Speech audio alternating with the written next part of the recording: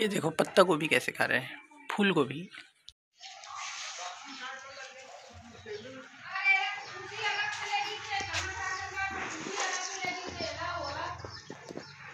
ये देखिए छत्तीसगढ़ी व्यंजन बोबरा खिलाए हैं आज इसको। मीठा रोटी है